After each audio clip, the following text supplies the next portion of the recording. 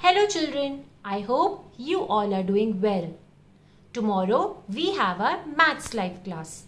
And for tomorrow's class children, you need to do this setting in your maths notebook 1. So I'll show you the setting. You remember we had done writing of numbers 14 and 15 on this page? Yes children?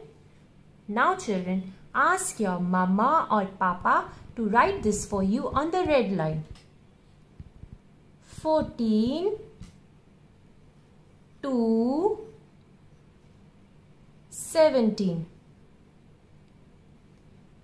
Now your mama has written this. Now children, it is your turn to do the setting yourself. Try children doing this setting with me. After this TO, do you see one's house here? In the next box put one dot. Now in the next box again put one more dot. So we have two dots here after this O. So we have one's house dot dot. Now children in the next box write down T. In the next box write down O. Now again put a dot in the next box and in the next box write down T and again in the next box write down O. T means tens house and O means one's house. Now children above this TO children write down tomorrow's date.